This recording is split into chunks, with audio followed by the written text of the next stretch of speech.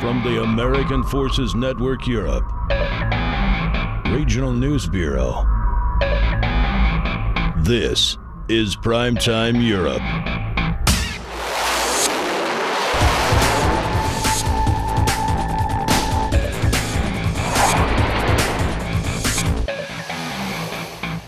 Hi, I'm Staff Sergeant John Archiquette, and I'm here in Slunja, Croatia for the Immediate Response 2012 exercise.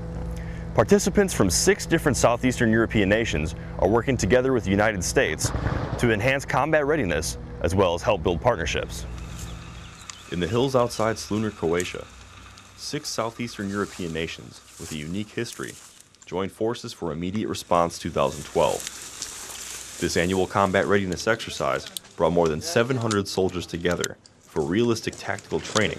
We're doing situational training exercises where they will do a, a, raid or a movement to contact. And then the second half of this exercise is a battalion field training exercise where all of the different units get together and form a, a battalion minus and go out and actually train in the field.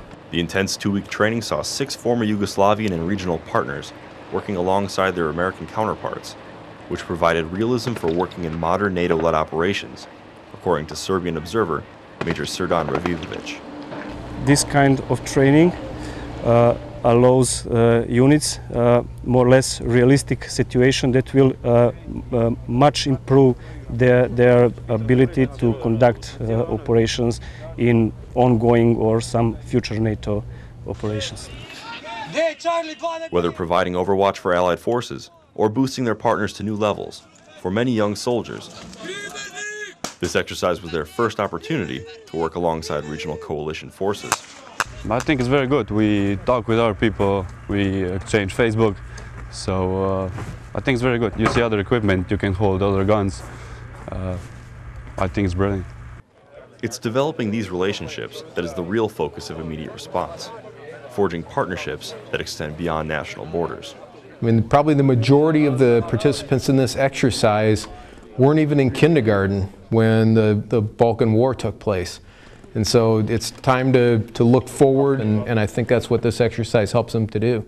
And while immediate response is helping to shape the future of the region, it's also a showcase of how far the partnership has come already. And no one would have imagined that we would work so closely with all of the partner nations in this region and, and that they would be not security consumers, but actually exporting security to other areas of the world that, that require help. I mean, we, this is a big success story, and, and immediate response is, is proof of it. Another way that immediate response has been successful is the attention to realism in combat scenarios. Following all engagements, commanders review the training using some high-tech new tools.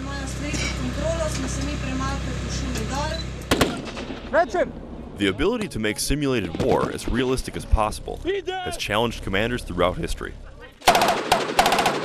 Deployable Instrumentation System Europe, or DICE, has a solution. What DICE does is DICE provides GPS and radio communications for vehicles and personnel. Soldiers taking part in the Immediate Response Exercise 2012 fight simulated engagements daily using the DICE system. Using lasers on their rifles and sensors attached to their vests and helmet, participants can kill or be killed in battle simulation. So like a big laser tag we get to play, they have it also, so back and forth. We know when our vehicles are killed if we shoot them or if they shoot us. But this is not just your typical laser tag. Every soldier and every vehicle that's in play during the exercise is actually being collecting all the data, all the environmental events, engagements, simulations, everything gets consolidated into a data package that then gets turned and translated into a full multimedia AR playback. Pretty much the soldiers go out and play for five hours on the training area and they come back into our facility and we show them a movie, a 3D movie of what they just did out there uh, on, a, on AAR. While the soldiers execute their tactics on the field, commanders are able to watch the action live, a critical tool, according to training resource specialist Herschel Lester. A real good tool for the commanders because the commander can tell a squad to go this way or a squad to go that way to do this to accomplish the objective, and the commander can see if his plan or her plan was good or not. And just like in any competition, referees are needed to keep the playing field even. The observer controllers, or OCs, are given the power to kill or injure any combatant, symbolizing the effects of artillery or other battlefield casualties. Their tool, the Blue God Gun. The, the God gun really has, uh, the, the play of the God gun is to kind of facilitate the, the event in the way that the, that the script was written. Oh, this what uh, simulates is a, a kill. It automatically sends a signal to the, the gear, yeah, yeah. telling them that they got shot and they got laid down, take their helmet off. The medic will uh, uh, uh, render first aid.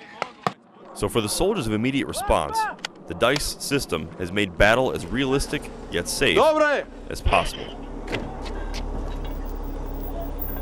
From the base camp to the hills overlooking the battlefield, another group of service members are putting their skills to the test at Immediate Response 2012. Threats, small arms fire, RPGs. Tech Sergeant Alex Truesdale is a Joint Terminal Attack Controller, or JTAC. Besides helping aerial units to safely and accurately put bombs on target, an essential part of his job is working with combined forces, whether it's the U.S. Army or any number of international allies.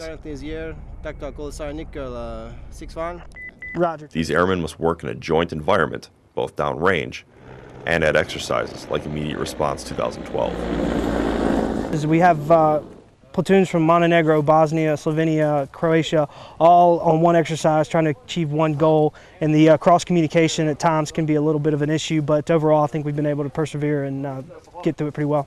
This international team of JTACs practiced a simulated search and rescue mission, coordinating land and air forces over the dense Croatian landscape.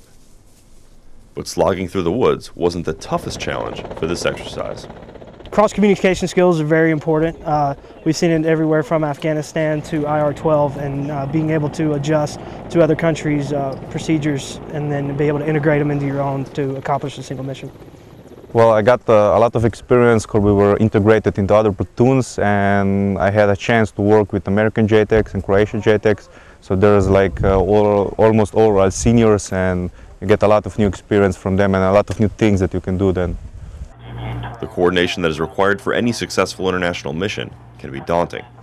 But from the Tactical Operations Center to the boots on the ground, JTACs have peace of mind knowing that no matter what country they're from You're approved 1500. or language they speak, they all wear the same patch. 220. No copy.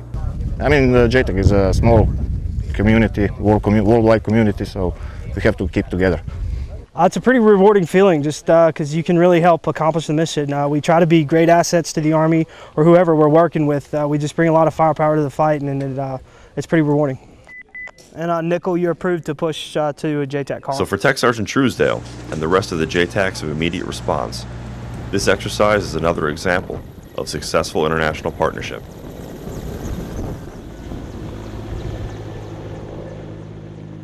A partnership that 20 years ago would have seemed nearly impossible.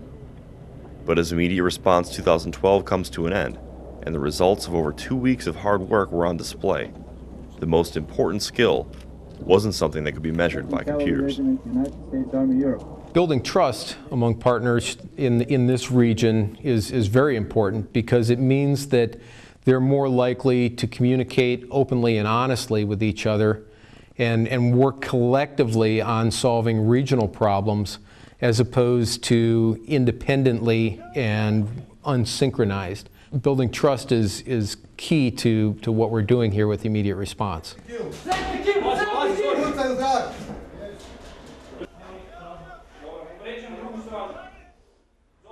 Thanks for watching this immediate response edition of Primetime Europe. I'm Air Force Staff Sergeant John Archiquette. Thanks for watching.